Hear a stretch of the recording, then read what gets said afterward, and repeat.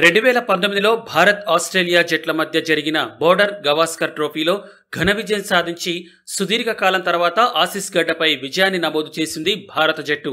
ఆనాటి ఆ టెస్ట్ సిరీస్కు సంబంధించిన జ్ఞాపకాలను నెమరు వేసుకున్నాడు భారత star test batsmen Cheteshwar Pujara. రెండో టెస్టులో నలభై ఒక్క పరుగులకే నాలుగు వికెట్లు కోల్పోయి పీకల్లోతు కష్టాల్లో ఉన్న భారత జట్టు ఒక్కసారిగా పుంజుకోవడానికి గల కారణాలను వివరించాడు. ఆ మ్యాచ్లో రోహిత్ పాత్రను ఒకసారి జ్ఞాపకం చేశాడు. పుజారా ఓ టీవీ ఛానల్తో మాట్లాడుతూ ఏమన్నాడంటే ఆ రోజు ఆస్ట్రేలియా బౌలర్లు చాలా అద్భుతంగా బౌలింగ్ చేశారు.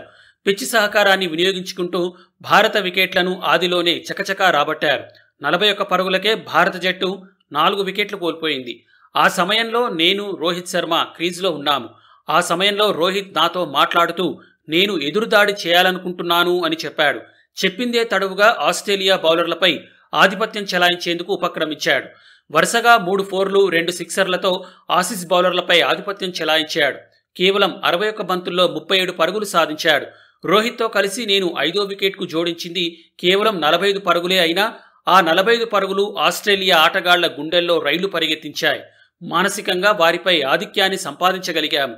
రోహిత్ ఉన్నది కాసేపే అయినా మ్యాచ్ గమనాన్ని మళ్ళించి భారత జట్టు ఉద్దేశాన్ని చాటాడు. ఆ క్షణంలో వారిలో ఆత్మవిశ్వాసం సన్నగిల్లిన తర్వాత నేను నా శైలిలో వారిపై పరుగులు సాధించడం ప్రారంభించాను అని అన్నాడు.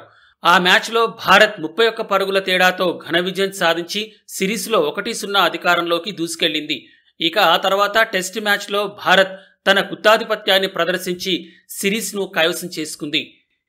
ఈ వీడియో గనక మీకు నచ్చినట్లయితే లైక్ షేర్ కామెంట్ చేయండి. మరిన్ని ఆసక్తికర అంశాల కోసం మా ఛానల్ని సబ్స్క్రైబ్ చేసుకోండి.